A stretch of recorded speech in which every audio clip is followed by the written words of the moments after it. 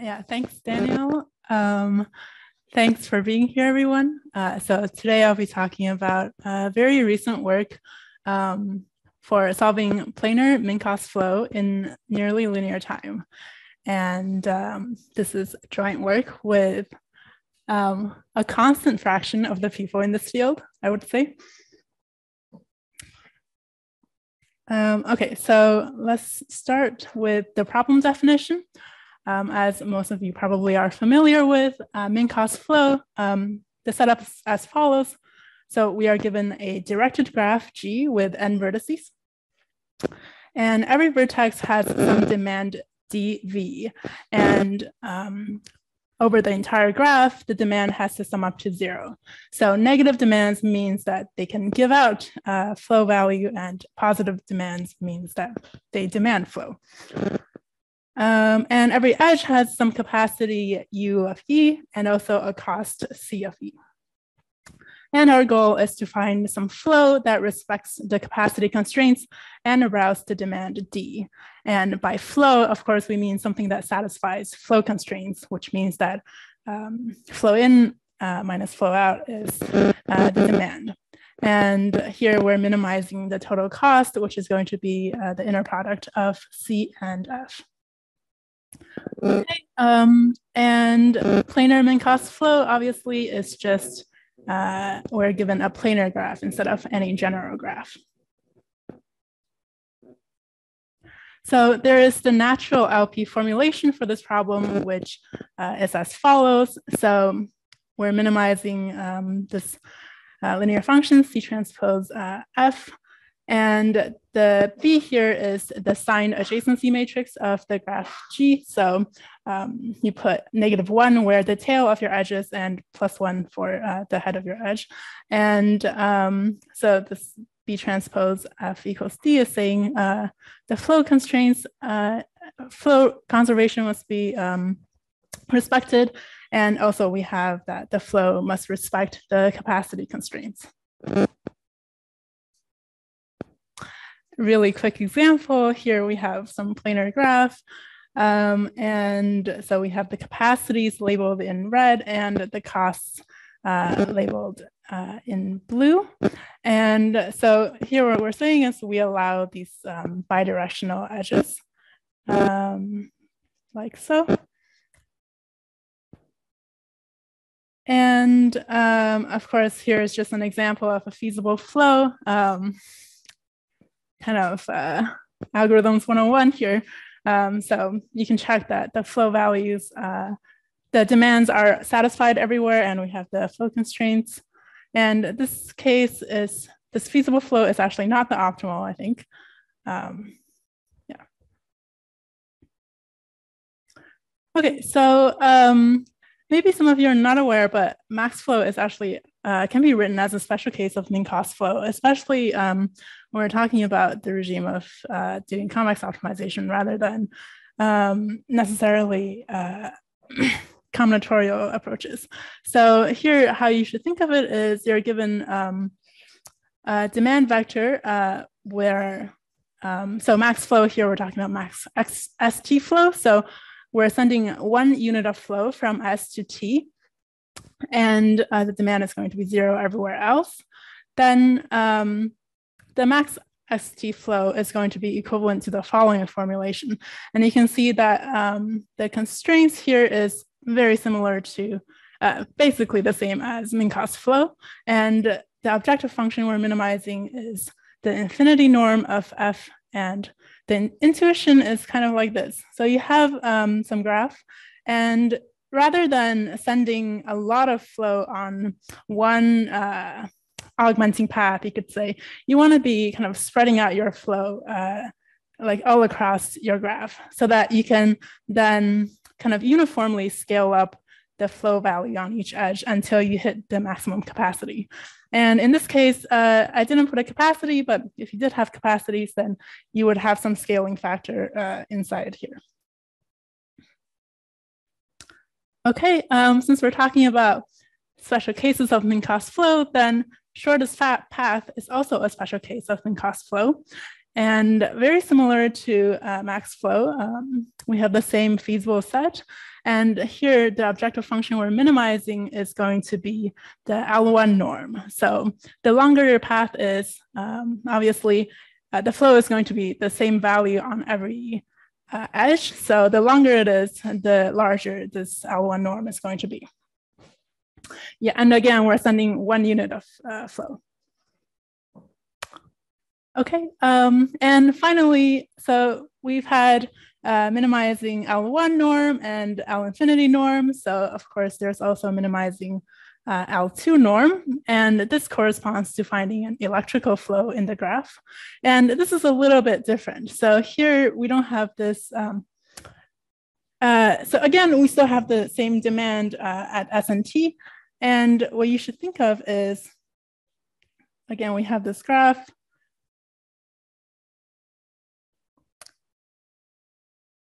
SNT. And what we're doing is we're attaching a kind of external battery. If you remember from your uh, high school physics days.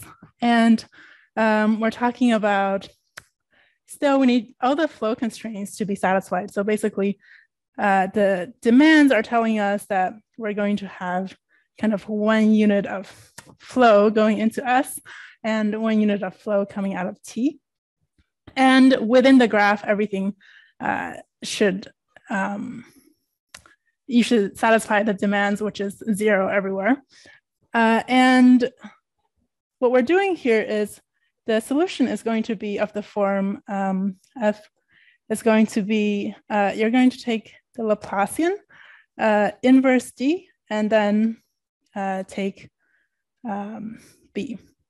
So what this is doing is actually this is calculating some voltage, right? So basically you're putting a battery to your circuits. Oh yeah, and um, you should think of all the edges as having basically a little resistor on them of resistance one in this case. And um, right, so taking L inverse D is ca calculating the voltage at every vertex of uh, your circuit and then um, multiplying by B is going to be um, computing the flow. And so this result is indeed, uh, the, this result resulting F is indeed something that minimizes uh, the L2 norm. And you can check that it does satisfy B transpose F equals D because um, what do you get when you multiply by uh, B transpose F? You get this is equal to L. And so the L and L inverse cancels out and you get D at the end. Okay. Um, I think I was supposed to draw on that page. Okay, so some related works. Um, in terms of general graphs, uh, so finding electrical flows uh, in nearly linear time was uh, quite an important piece of work done by uh, Spielman and Teng in 04. And um, a couple years later, uh, we so Daitch and Spielman applied uh, IPM uh, to reduce min-cost flow to solving uh, uh, square root and electrical flows. And overall, uh, because every electrical flow could take linear time, you get this n to the three halves time. And this n to the three halves time, oh, sorry, m, because m is the number of edges. Um, and this is kind of the best bound in general. And uh, this was this three halves barrier was broken by uh, again, uh, but only for unit capacity graphs uh, for max flow. And then it was later improved and generalized. And I should mention all of these basically are using IPM methods. And that they're kind of modifying the electric flow um, and maintaining the solution in some sort of clever way. Uh, for Sally, sorry. just to clarify, so uh, capital M is the largest capacity or cost, or um, oh, uh, this is going to be, um, I guess, M is going to be the max of so cost vector and capacity. Yeah, some sort of scaling constant uh, for yeah. Um, okay, then for general graphs, um, we have the current best min cost flow algorithm, um, which runs in this m plus n to the 3 halves time. And uh, for max flow, uh, for general capacities, we have something uh, a little bit better than 3 halves. So um, yeah, some of these uh, authors are in the audience and know about these a lot better than I do. And specifically for planar graphs, for max flow, this has been uh, basically a solved problem for a long time. You can do it in uh, basically nearly linear time. And for min cost flow, however, um, there's still, uh, until this work, there's been quite a big gap uh, between the best and nearly linear time. So this OF, so for min cost flow, this n to the 1.5 something um, time algorithm, this one is using IPMs. And when they say square root n separable graphs, you can think of this as a generalization of planar graphs. And uh, the second one is for specifically unit capacity in n to the four third time. And this is not IPM. And I was actually surprised to find out about this. This is a purely combinatorial uh, paper. Okay, so that's it for uh, related works. And our result is basically saying that we can solve min cost flow in nearly linear time. Um, right, so M is going to be uh, defined as written.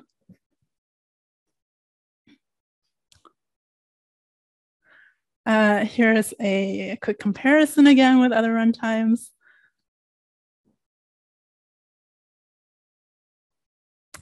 And our result actually generalizes to separable graphs because the only uh, the only property we use about planar graphs is the fact that they are separable with separator size square root n. And since we only use the separability property, we can extend our um, result to other separable graphs. And this is the runtime approximately. So for us, we have uh, m plus square root m and square root n. Uh, Sally, just out of curiosity, does it, like for planar graphs, the, the square root n is relative to the, the size of the graph. So as it gets smaller, the separators also get smaller. Is yes. that important? yes. This? Yeah. Mm -hmm. um, so in general, you can in spirit believe that the largest separator. So what we're going to do is recursively separate our graphs. And so this S here is going to kind of reflect the size of the largest separator. Okay, and the techniques we use here is going to be a combination of the following. So we have um, robust IPMs, uh, nested dissection, which um, some of you might not have heard of. Um, we design new data structures to maintain the IPM solution, which is going to be of the form the flow uh, and the slack. And we also have a sketching data structure to maintain some close approximation to our IPM solutions. And I'll explain how everything fits together in a little bit. And in this talk, I'm primarily going to focus on the nested dissection part with some robust IPM and data structures thrown in. Okay, so let's start with um, what the IPM is actually doing. So we start with this LP that we mentioned in the introduction, and we are going to actually reduce it to a different formulation. Um, and this is quite standard. And basically what we do is we are going to add a super source S and a super sink T and add extra edges so that all the source nodes in the original graph are connected to S and all the sink nodes are connected to T. And um, you also add another edge from S from T to S. Um, and so in this new linear program, we have all new uh, vectors and constraints uh, but we'll use the same notation for everything. And uh, the details are not very important, but um, the takeaway is still that if you can solve this uh, different formulation, then you can recover a solution to the original. And you're going to be off by a little bit, but that can be fixed. So we're just going to talk about some IPMs right now. Um, so given this formulation, uh, on the right, we have the primal solution space, which is given by script F, and the dual solution space S. And we're going to use the central path defined here, uh, which um, is going to be kind of a log barrier central path. And as you already know by now, you're IPM experts. When you take t to zero, you get the optimal solution.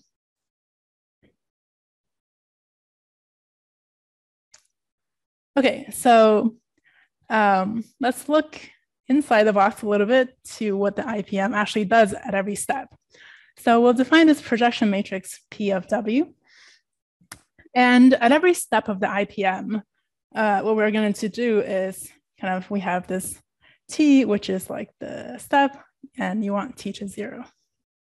So we're going to update some H, which is going to be a function of our current solutions. Um, we have a weight matrix and we have some direction that we're going in. And we're going to update uh, our solution by uh, the following formula, right? So you have um, here the direction, you project it so that you get something that is feasible and you take a step in that direction. And similarly for S. And once you do this, you're also going to decrease the t by some factor of approximately one, one minus one over square root m. And this is what gives you this square root m um, steps.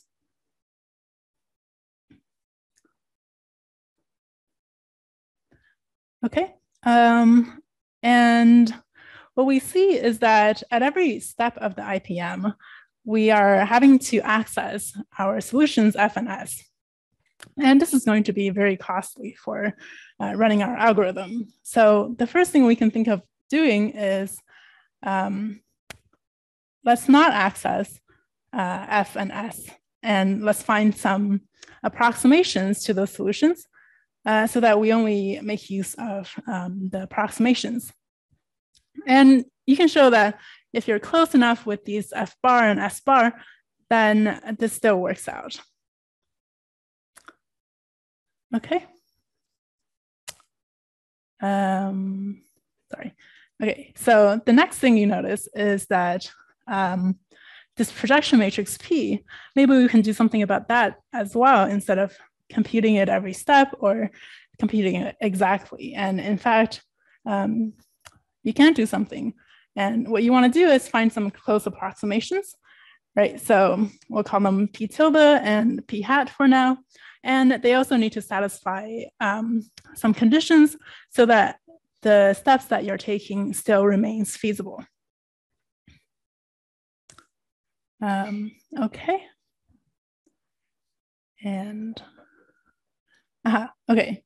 And the last thing we wanna do is basically at this point, uh, if you look at the pseudocode, we're not, we're never actually accessing uh, F and S uh, at any step of the RPM, no, IPM, right? So we don't actually need the values of FNS ever.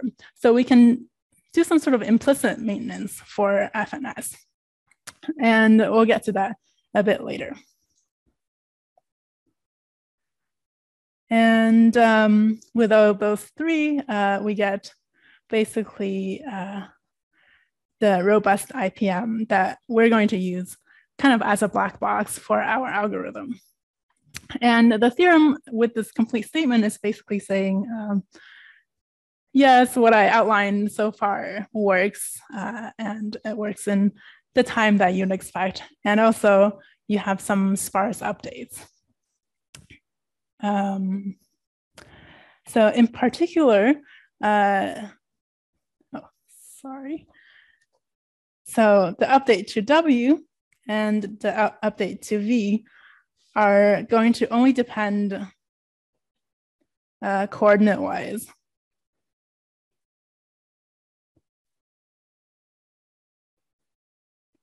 And S. um, meaning that uh, wi depends on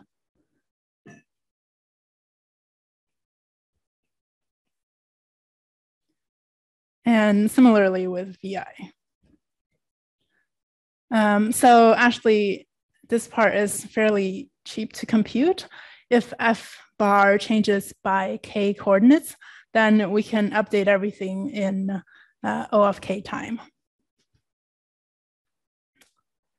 Okay.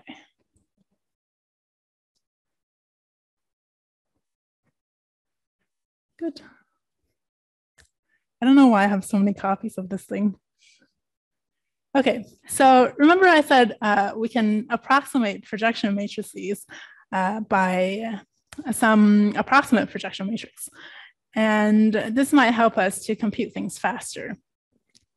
And um, we can't just approximate them with uh, anything. And we have to satisfy uh, the constraint, which is that what you get at in the end is has to be a feasible step. So when you uh, make a change to your uh, solution F, you need to stay within the feasible set.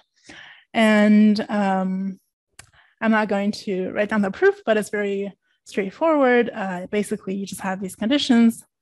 Um, and so this is for the potential projection. And then for the flow projection, um, what you need is the following.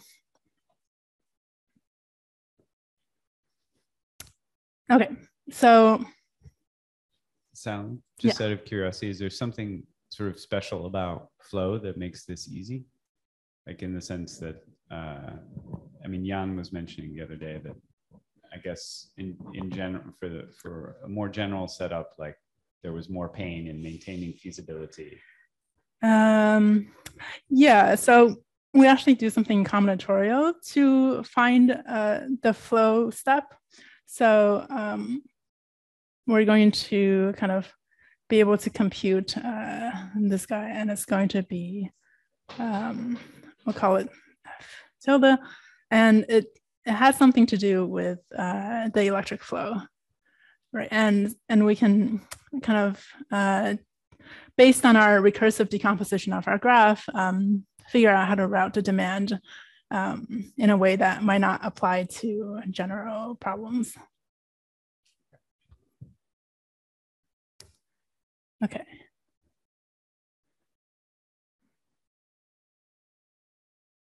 Okay, so um, just to keep this in mind, this projection matrix is very important.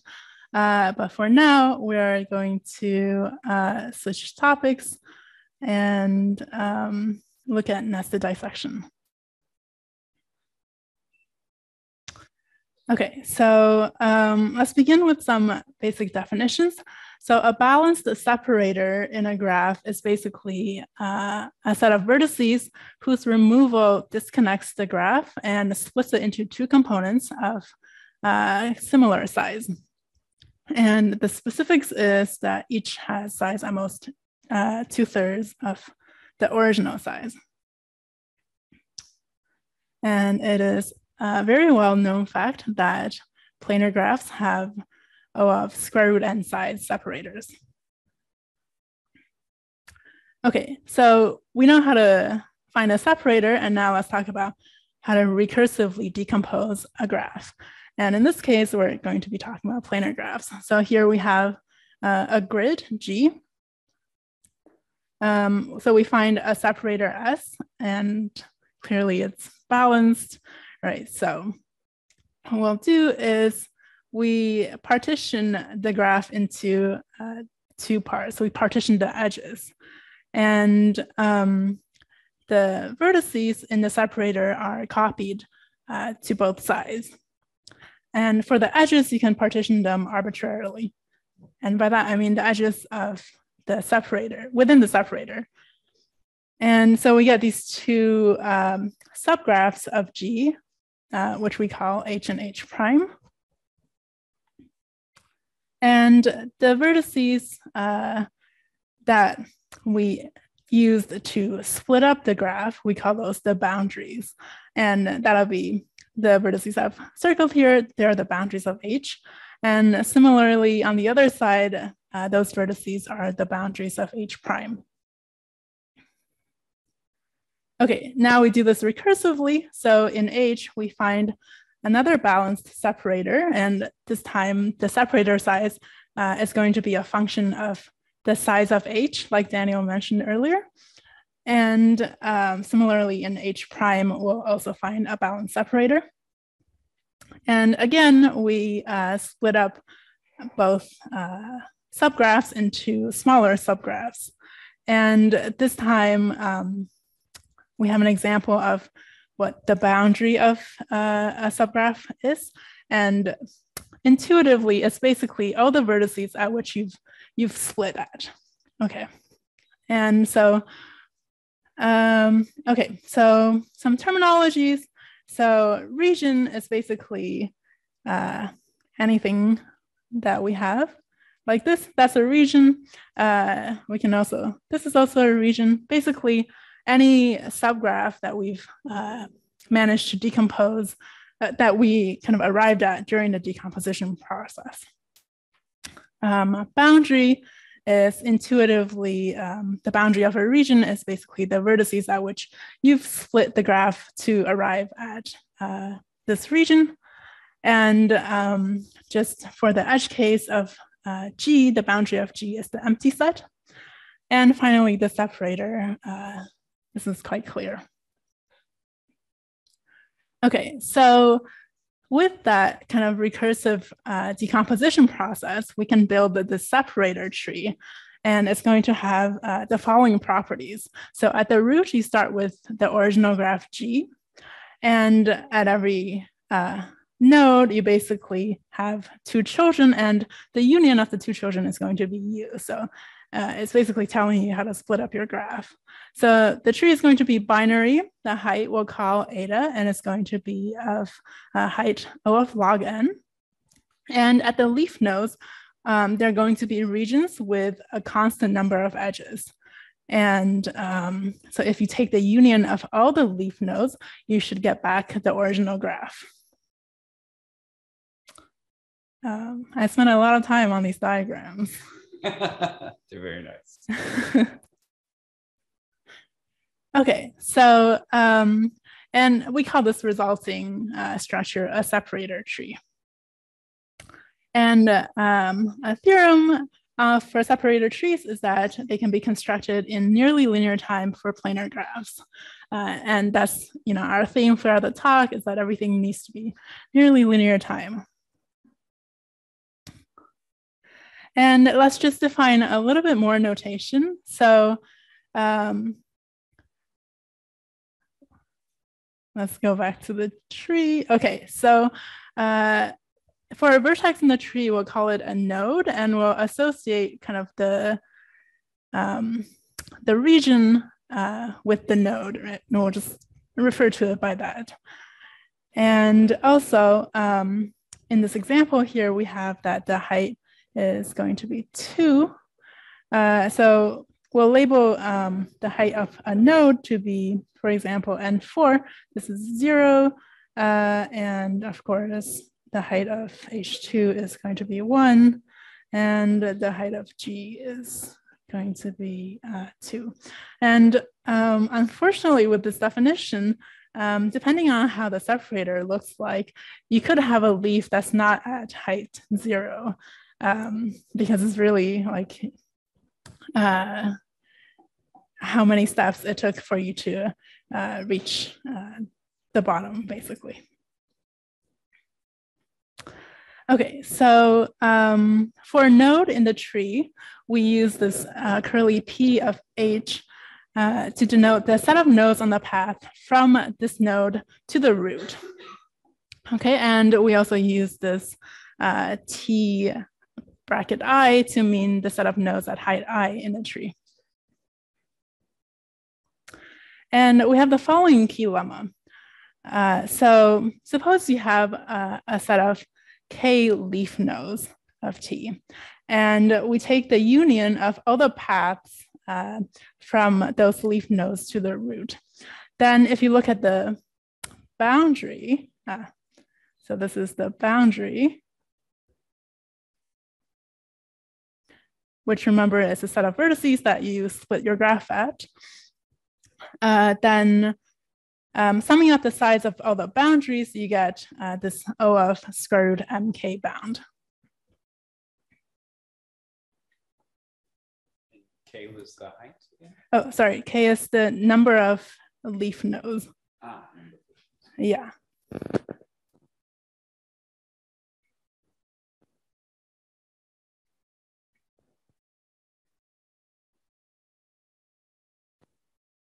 Uh, oh, I think I was going to do the height and everything here.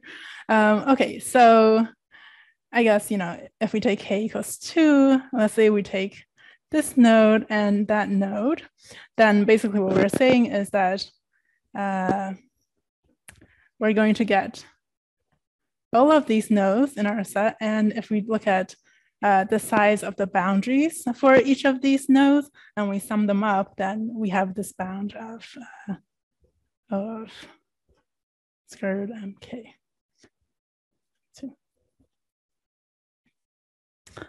Um, and if you want a refresher on how to count the boundary, it's uh, you know the these vertices here, uh, these vertices here, nothing at the root, um, these vertices, and finally, um, I think it's like this.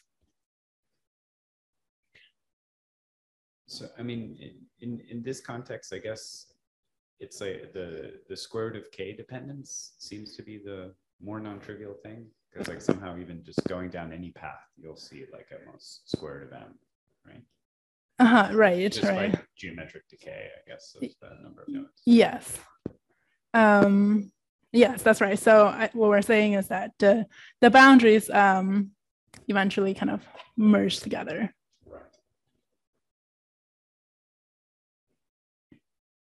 Okay, so uh, from this, we also have uh, a natural partition of the vertices of G. And um, how we're going to think of it is uh, every node is going to correspond to a vertex set. So a node H has a vertex set f of H, so that the disjoint union of all these vertex sets gives you back the original vertex set of the graph. And we'll call uh, this set fh to be the set of vertices eliminated at H. And we construct these sets FH from a bottom-up way. Um, so at a node H, uh, the vertices that you take is going to be, so H is the uh, subgraph, right? So it has some, um, so V of H is going to be some set of vertices. And some of the vertices in there are already in previous uh, F of H's. And so you don't take those and you take everything that's left that is also not in your boundary. And we'll just further define uh, this Fi to be the union of all the vertices um, at a node at level i. And again, the Fi's partition uh, the vertices based on the layers of the tree. Um, okay, so for example, I gotta be really quick here. Um, so you can't take, okay, let's do N1. So you can't take the boundary. So uh, f of N1 is going to be everything that's in the interior, okay?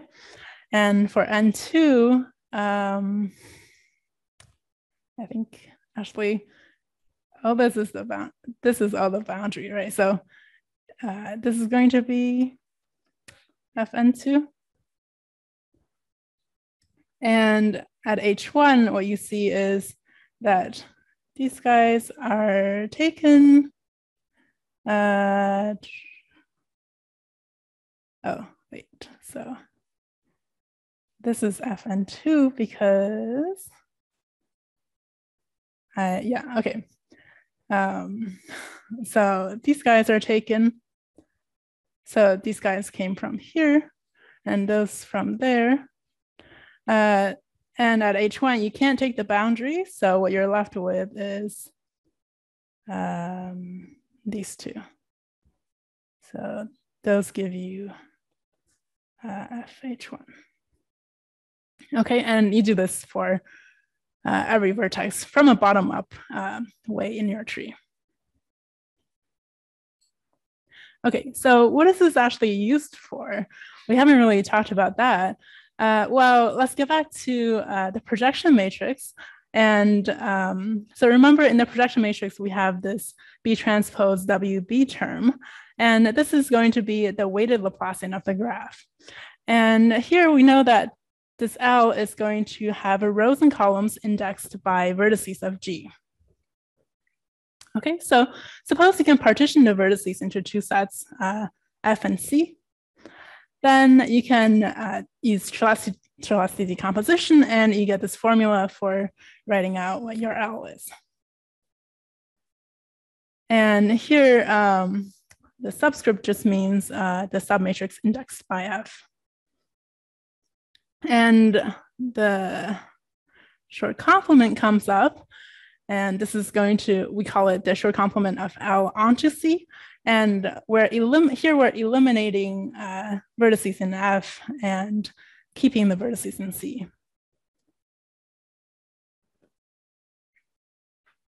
Okay, so um, I think Jan mentioned this yesterday. Uh, so the Schur complement uh, actually corresponds to doing block Gaussian elimination on L.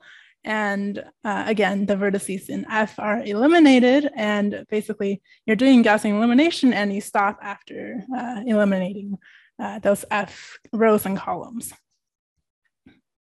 And we have the property that what you get in the end, uh, this Schur complement is actually the weighted Laplacian of a new graph on the vertex set C. Okay, and since it's a weighted Laplacian, uh, then we can do this uh, Cholesky decomposition again recursively. Uh, oh yeah, and um, a little caveat here, it's connected to electrical flows and it has connections, it, it basically um, has something to do with computing the effective resistance in your circuits, which basically means, you know, you take out a vertex and you can kind of say something about how much uh, how much uh, resistance all those edges that you took out actually has uh, an effect in your graph. Um, okay, so let's do recursion here. So uh, this is the first step that we just showed, and we'll label everything with this uh, zero uh, superscript. And now we're going to partition. Uh, so this Schur complement lives on C, lives on C0, and we're going to partition that into versions, into sets F1 and C1 and get the following. And what we're going to do is um, eventually we're going to plug this into uh, there. And you can pad some identities and zeros to make the dimensions work out. And we're just going to do that uh, recursively until we get to um, some C eta that's going to be the empty set.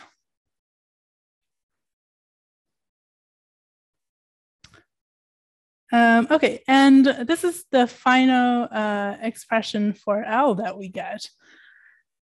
Okay, and um, every U here is going to be an upper triangular matrix and is going to uh, have blocks that correspond to blocks of uh, Li and some sort of like multiplication between blocks of Li.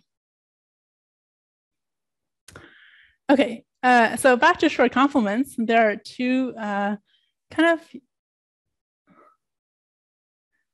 sorry, just checking where my slides are. Okay, so we're going to actually use this L for um, our projection matrix.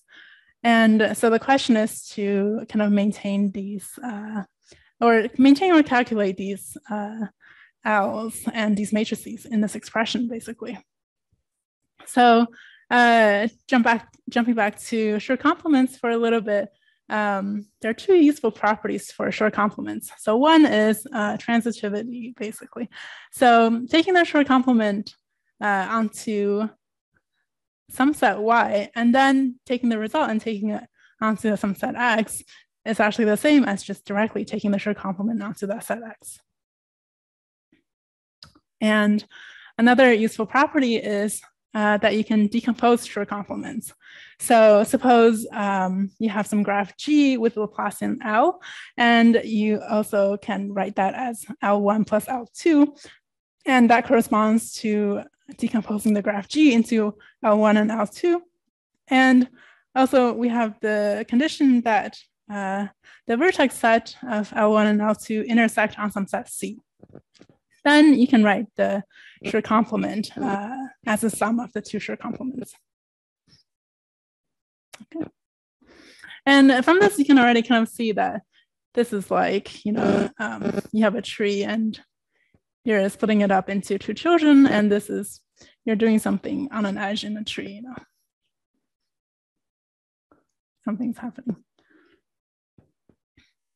Okay, so um, that's exactly what we're going to do. We're going to uh, use our separator tree that we just built to maintain some form of Schur complements. And what we're, what we're doing exactly is going to be uh, at every node h, we're going to maintain this. Um, this is in fact a Laplacian. Um, and we define it recursively as follows. So for a leaf node, um, we're going to define it to just be the Laplacian of that subgraph H.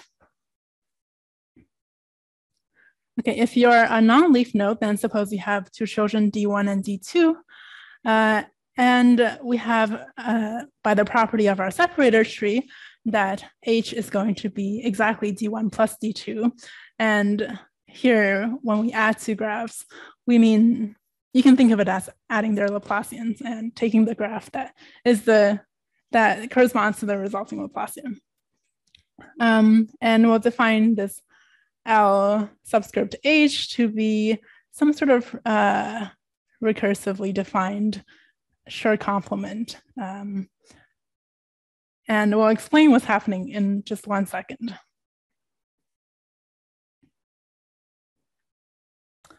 And um, just so we're kind of clear on what's happening, this LH uh, is going to live on the vertex set uh, FH union the boundary of H. Okay.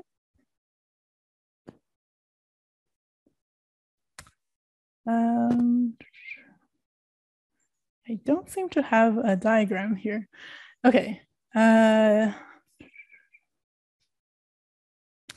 So let me just draw something very quickly then. What's happening here is basically um, we're going to be kind of recursively eliminating vertices, right? And say we have this uh, H and children D1, D2.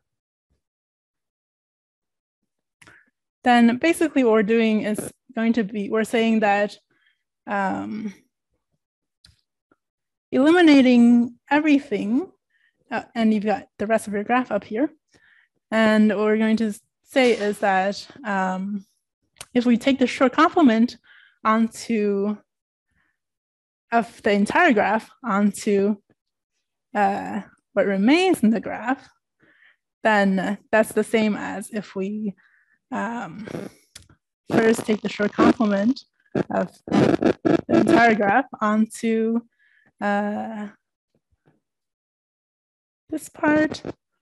And then, which means, you know, you're getting rid of these vertices. Uh, and then getting rid of these vertices. And then finally get, getting rid of uh, the vertices in FH. It's a little confusing. Okay.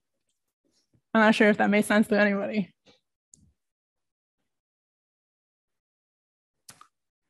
Okay, so um, Right. So I define these LH, and actually we have this very nice um, uh, formula which says that the sum of LH for over all the H's in the same level of your separator tree is equal to L superscript i, where remember Li is uh, defined in our um, um, expression for this overall Laplacian L. Just how how were these uh like li's i guess related to the separator tree? Or is is there no relation? Um ah so these guys are um li right? And this is equal so um, in the separator tree what we're keeping is lh uh, at every node h and li is, is equal to the sum of um, basically whatever is on your level. So TI. So what what the, the level is how far down you are from the yeah, so what was the level actually? Yeah, well so I guess um if you draw your tree and and you kind of do like a, you label the the height based on your distance from the root, uh, then it, uh, the level goes from zero up to eta. Yeah. I see. I see. Right, so you're just taking the slices. Yeah, you're taking a slice. And actually, um, if we were to be very careful about this, because I've been not very careful about uh, the zeros and the dimensions of these matrices, um, then actually what we have is if this is Li, then um, Li is going to be indexed by um, these FH, where H is in level I. So um, actually what we have is going to is going to look like a block diagonal matrix where on the diagonal you have these LHs. And so you sum them up together, you get Li.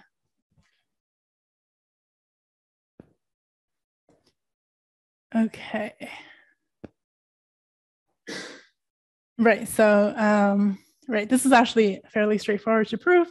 And we get something, we say something, we can say something about this uh, matrix Li.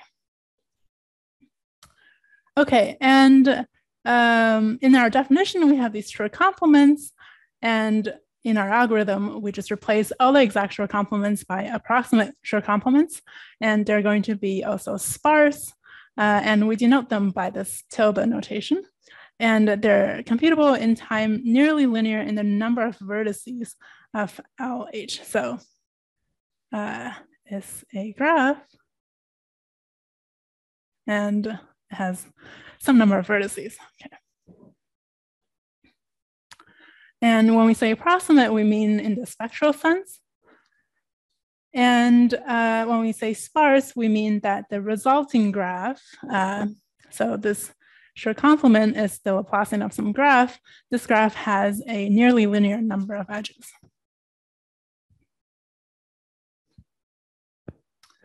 Okay, and um, so remember we have, um, we've defined these LHs at every uh, node of our separator tree. And these Laplacians, remember, they were a function of some edge weights. And so now suppose we have some edge weight changes and we want to update all these Schur complements that we're maintaining in the separator tree. Then um, suppose k edge weights change, uh, then we can update everything in uh, the square root mk time again. So again, this has to do with uh, the lemma that we had um, which bounds the size of the boundaries over all the, the paths from these uh, nodes to the root. Okay, so that's our separator tree, and now we can quickly move through the IPM data structures. So remember again, we have our projection matrix, and we've replaced this uh, B transpose WB with L inverse. And uh, remember our goal was to find some approximate projection matrices. So here we're going to approximate L inverse and conveniently we already have um, quite a good approximation uh, just from our separator tree. And here, uh, I know it looks like the same formula as before, but we're going to um, think of everything. Um, oh, computations are going to be with approximate Schur. Okay, so then L is not an exact, uh, it's not exactly the Laplacian, but rather uh, some spectral approximation of the Laplacian. And this is based on how good your Schur complements are. Okay, and if you have uh, an approximation for L, then you have one for L inverse as well. Uh, and just to point out here, each of these pi i is going to be lower triangular. It has uh, ones on the diagonal, and then otherwise it's only supported on some submatrix indexed by this ci by fi. So it has mostly zeros everywhere, uh, mostly zeros in that matrix. Um, okay. So uh, for our projection matrix, we're just going to, aha, I knew what I wanted to do.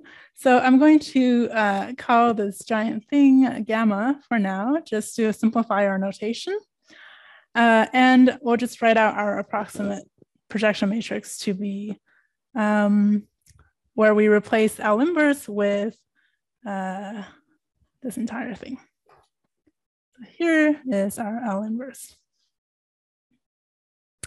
And this is enough for our slack projection matrix.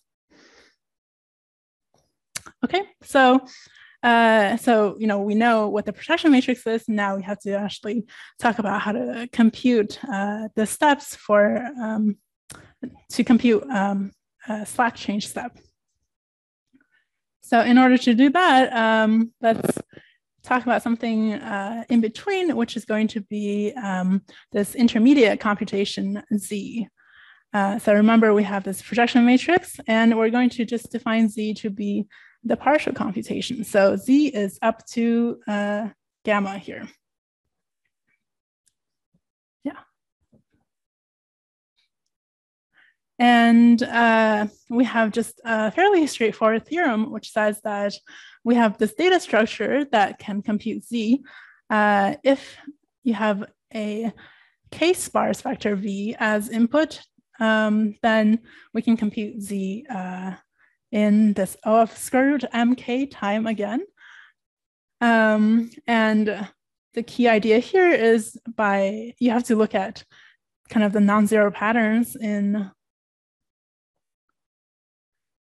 uh, in these pi i's and actually realize that they kind of correspond to paths in uh, our separator tree. Okay, and also if we have edge weight updates, then notice that this W is going to change and also all the pi i's are going to change. Uh, change in W. Um, but our data structure can still support um, future computations uh, using the updated weights. And to make this change to the updated weights, we still just require this O of square root mk time. Um, okay, then basically we're almost there for the slacks. So recall we wanted to implicitly maintain the slack. Um, so this is our step. And what we're doing is we have the partial computation up to z. Uh, and actually, at this point, uh, this is actually very costly to compute.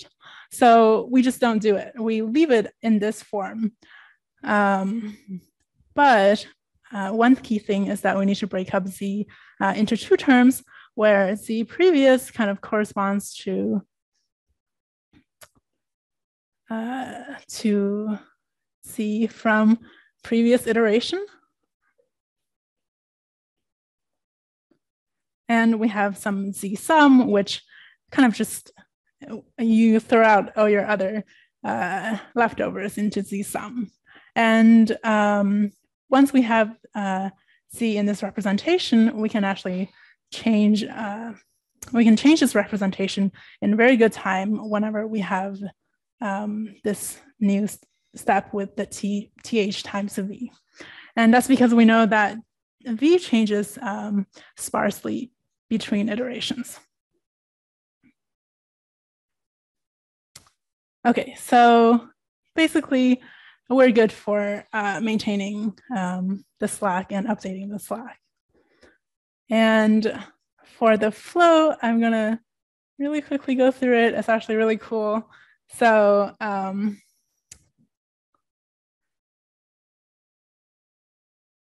instead of finding this uh, projection matrix that's approximately what we want and also uh, satisfies the feasibility constraints, um, so we're not going to write this out in closed form, but rather we'll just compute uh, some flow, which is a weighted flow because actually it's a flow multiplied by a weight uh, matrix.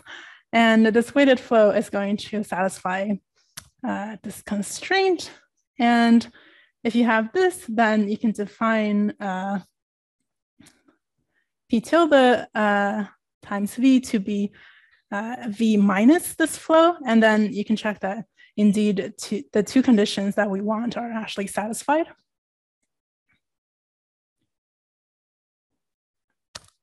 Okay. Um, so, the, so remember now we're looking for some sort of weighted flow. And the first condition is that F, this F tilde needs to be kind of close to W1 half BL inverse D. And uh, remember from the introduction that this is actually the electric flow. And we're just uh, multiplying it by a weight afterwards. So uh, yeah, so we have a combinatorial interpretation for how to do these updates. And suppose we were actually able to just take an exact, to take f tilde to be exactly this expression, then we can see that, um, again, we'll have B transpose W1 half F tilde equals D so that it satisfies the feasibility condition um, for our IPM step as well. Um, okay, so basically what we're gonna do is we have uh, this demand and it turns out we can magically decompose the demand. So we can write D as a sum of uh, demands, where every demand corresponds to a node in the separator tree. And actually, uh, this demand has the following uh, formula. Um, and Z here is our uh, intermediate calculation. Two more minutes and I'll be done. Um, and now the idea is that for every D uh, in this sum of demands, for every term in this sum, we're going to uh, route them separately in the graph.